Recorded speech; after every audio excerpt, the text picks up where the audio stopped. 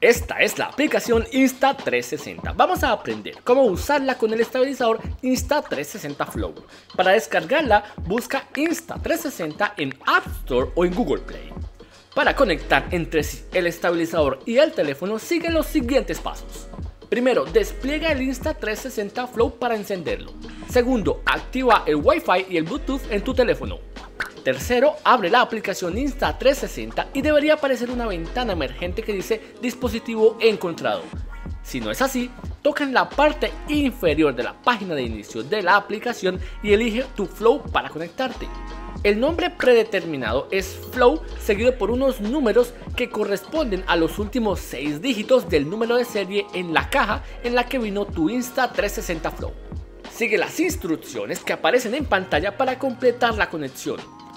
4. Si te conectas por primera vez, aparecerá un mensaje en la aplicación y deberás confirmar cierta información y permisos de aplicaciones. Una vez que se activa el Insta360 Flow, la aplicación ingresará a la interfaz de vista de cámara. Ten en cuenta, si hay una nueva versión del firmware disponible, aparecerá una ventana emergente. Actualiza y sigue las instrucciones. No apagues el Insta360 Flow ni cierres la aplicación durante la actualización. Después de emparejar el teléfono a través de Bluetooth, el Insta360 Flow puede controlar la cámara del teléfono sin necesidad de la app Insta360, pero te recomiendo consultar la lista de compatibilidad de teléfonos para obtener información completa. Estos son los elementos y configuraciones que encontrarás en la vista de cámara. Inicio. Permite regresar a la página de inicio. Genio de grabación o Shot Genie proporciona tutoriales de fotografía e ideas según la situación o el entorno. Hay tres formas para acceder a los consejos de Shot Genie. Toca Biblioteca Shot Genie para explorar todas las opciones. También puedes hacerlo por reconocimiento de escena. Una vez habilitada, la escena actual será analizada y emparejada con un escenario de grabación. Habilita o deshabilita esta opción en configuración general o también por control de voz. Está habilitado de forma predeterminada y el icono es este. Una vez habilitado, reconocerá tu voz y proporciona sugerencias de grabaciones adecuadas basadas en las palabras clave que proporciones. Puedes habilitarlo o deshabilitarlo también en configuración general, eso ya lo vamos a ver más adelante. Flash. Tocando este icono puedes habilitar o deshabilitar el flash. Filtros. Selecciona un filtro para foto o video. Puedes escoger entre diferentes estilos como deporte, estilo, urbano, naturaleza, entre otros. Filtro facial. Activa o desactiva la función filtro facial. Ten en cuenta que para video solo se habilita cuando bajas la resolución a 1080p. Esta opción de filtro facial te permite cambiar la luminosidad de la piel, el tamaño de tus ojos, entre otros. Control por gestos. Muestra la configuración de control por gestos y selecciona entre foto, video, foto con seguimiento o video con seguimiento. Cuando el control por gestos está activado, mira hacia la cámara con toda tu cara visible y levanta la palma. Asegúrate de que la palma no cubra tu rostro. Mantén brevemente esta posición para activar la función. Levanta la palma de nuevo para detener el seguimiento.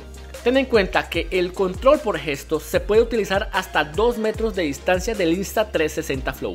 También ten en cuenta que esta característica aumenta el consumo de energía del teléfono y puede causar que este se caliente. Cuadro de seguimiento. El Insta360 Flow puede rastrear automáticamente los objetivos seleccionados para que permanezcan en el marco dentro del cuadro de seguimiento. La posición predeterminada es el centro de la pantalla, pero se puede ajustar manualmente usando la palanca de control. Nivel de batería del estabilizador. Muestra el nivel actual de batería del Insta360 Flow. Nivel de batería del teléfono. Muestra el nivel actual de batería del teléfono. Nivel de resolución y velocidad de fotogramas. Establece la resolución entre 720, 1080 y 4K. Ten en cuenta que las opciones de resolución que te aparecen acá no dependen del estabilizador, sino de las características de la cámara de tu teléfono o de la gama del teléfono que tengas. Configuración de la cámara del teléfono.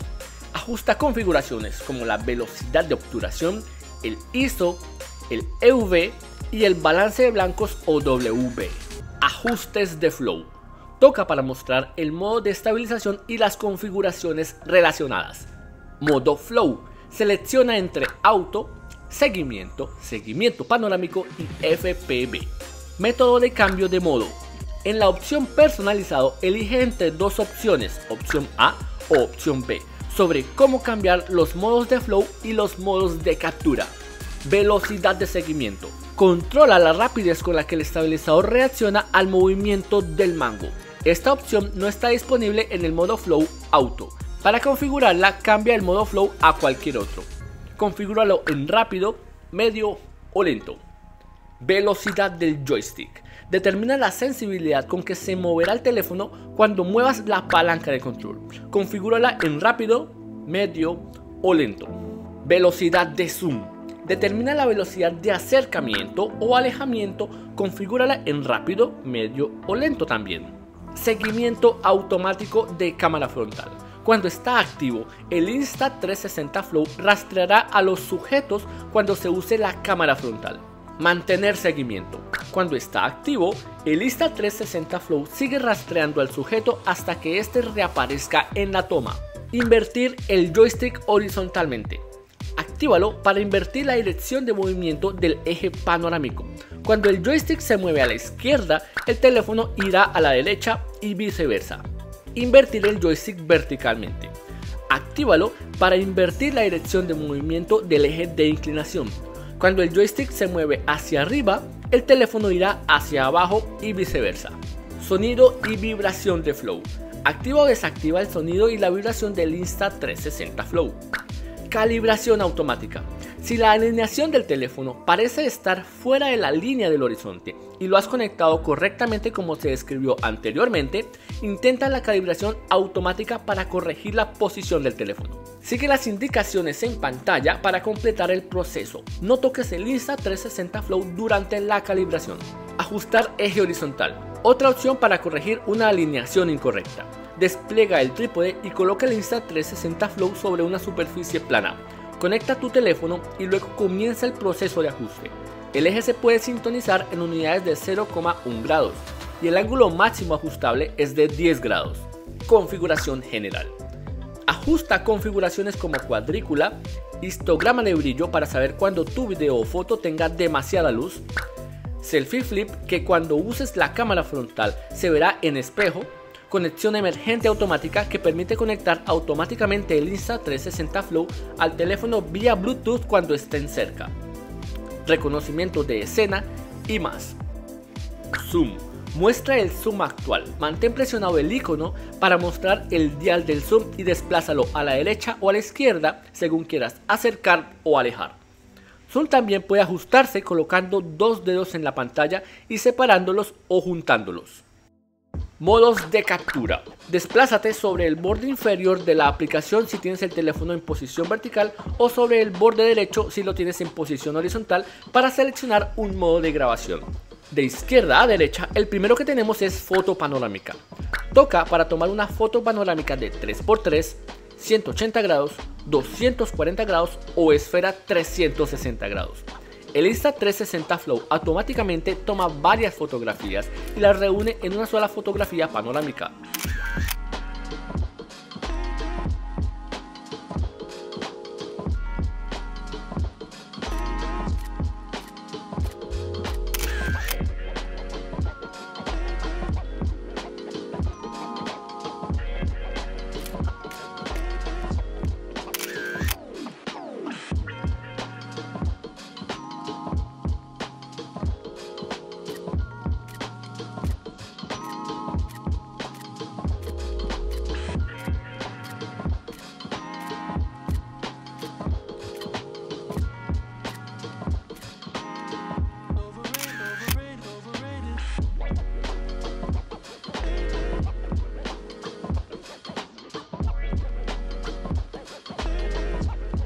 Foto.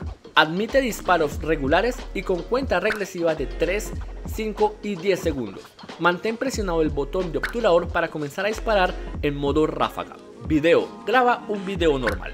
Timelapse. Graba un timelapse fijo o en movimiento. Elige entre ángulo fijo, de izquierda a derecha, de derecha a izquierda y seguimiento personalizado. Toca el icono para establecer la duración y el intervalo de tu timelapse. Time Shift Graba un video acelerado mientras estás en movimiento.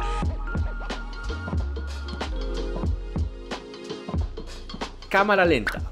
Graba un video en cámara lenta a 120 fps o 240 fps.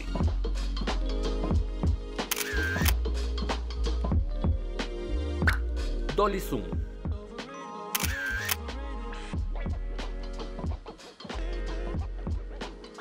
Modo ancho. El teléfono se ajusta automáticamente a una posición horizontal y comienza la grabación en una relación de pantalla panorámica de 2,35 a 1. Modo live.